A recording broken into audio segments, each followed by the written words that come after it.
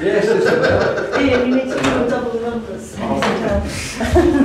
Nice to be so, nice to be such a popular football club. isn't? Eh? I think it's the This same is all on everywhere today. We're all saying Christmas. Yeah, I dragged you out, Gary. Anyway, that's Yeah, unlucky exactly, for you. Yeah, well, no one loves me at home, so. It's a nice day for it. To be fair, it's a nice day for it.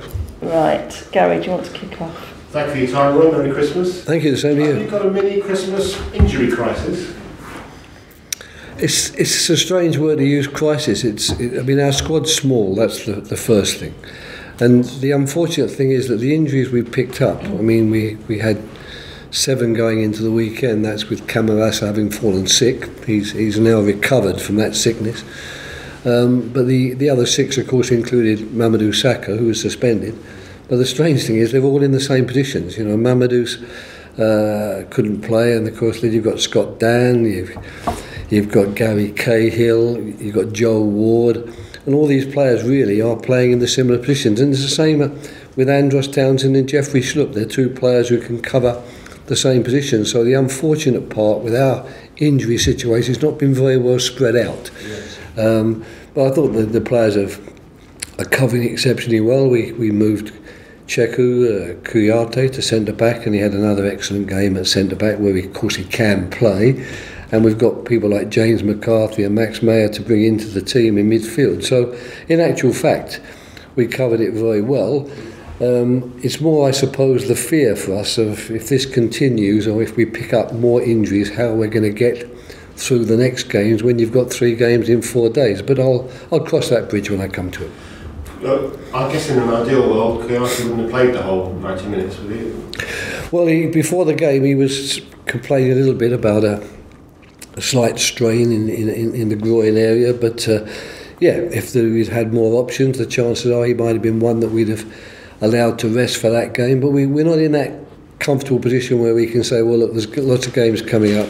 Give this player who's maybe suffering from a little bit of fatigue a rest. I'm afraid we have to push them out to play, and I thought they did that exceptionally well on Saturday. So, uh, any of them, I mean, Andros is the nearest to coming back, is he, other than... Um, No, he's a long way off.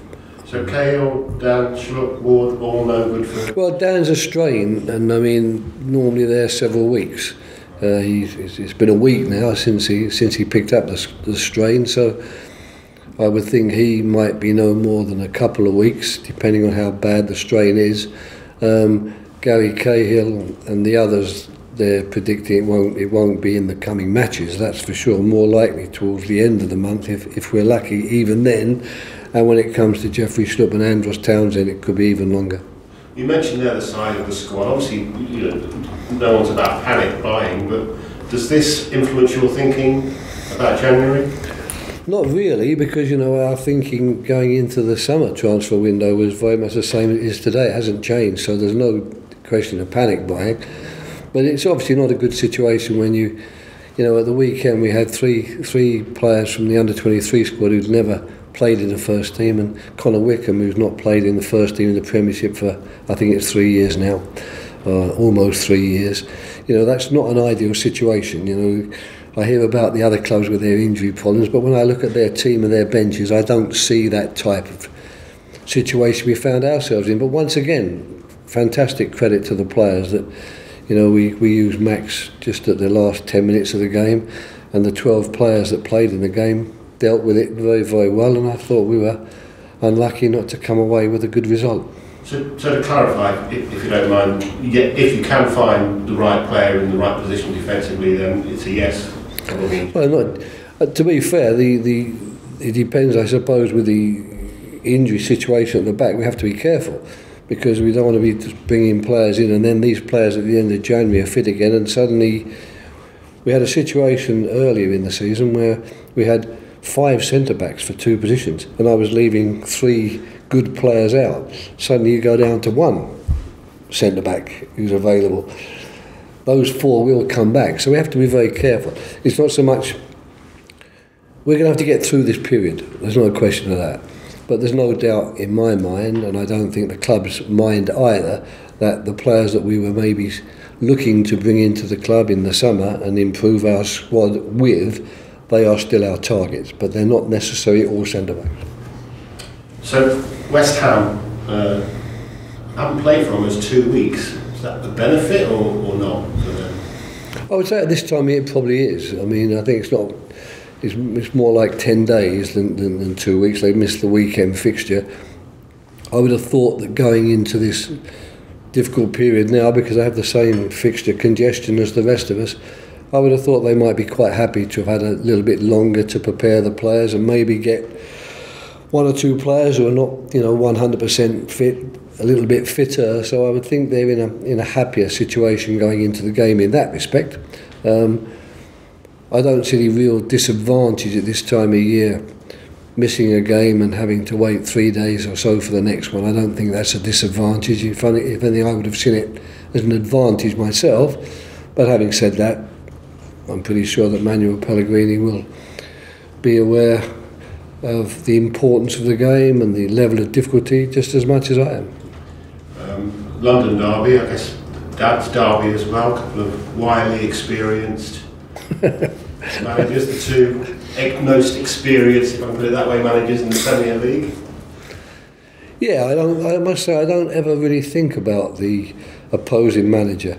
Um, obviously, I think the the Premier League is very fortunate to have so so many good managers. You know, every team we play against is well prepared, well organised, well drilled, know exactly what they're doing. So I never actually think in terms of well, who is the manager in this next game. I always think about what the team is, what the players are, how the team plays, what they're good at, what we've got to contend with, and I allow other people to sort of come up with statistics about how many games I would have played against the opposing manager and whether I've won them or lost them. Quite strange that quite a few of those opposing managers who've been at Manchester United, Manchester City and Liverpool seem to have a better record against me than I have. I've not quite worked that one out yet. I was trying to be polite at this Christmas and not mention age, but it's the oldest manager versus the second oldest. Is it? Okay, yeah. well, I, I think we're looking all right on that, to be fair. When I see Manuel, I don't. The first thing when I see him appear on the TV that strikes me is not his age, but how well he's looking and what a fantastic head of hair he has. And I'm certain there'll be lots of people a lot younger than him looking enviously at his looks and uh, the way he's kept himself fit and well over the years. And uh, age won't play a part. He'll be as uh, nervous and as active and as prepared for the game as I am and as any 25 year old will be. And I say exactly the same about you and how well you're wearing well. Thank you, thank you, Gary. Very kind of you. This won't get on the screen, by the way, so we so we like it. As we're talking about the fact that you've got all this experience and you know doing really well despite the, the injury problems, any progress at all on, your contract talks? No, we haven't talked about it for a while now. I mean, uh, I don't I don't have any reason to to doubt that the intention from the club is still the same, but we haven't had any discussions. To be fair, Doug Freedman's been very, very busy running around preparing for the January transfer window. Steve Parish has spent some time in America. So, you know, really, we're all getting on with our jobs, and they know that if they want me to stay, I'm prepared to do so. Do you like the Christmas period? I mean, professionally speaking. I quite enjoy the training side of it and being around the, the team. You know, I, I don't think I would thank you for long days at home on Christmas Eve and Christmas Day and Boxing Day. So I enjoy coming in and working with the players. The actual matches themselves, somewhat less so, because I think it's very difficult or very harsh to ask players to play at the level we play at with a day's rest in between or two days rest in between. So it's you're not going to see the best of your team and probably not the best of the opposing teams because it's too much to ask. Uh, it's, it's simply physically too much for the player. So I don't enjoy that part of it very much.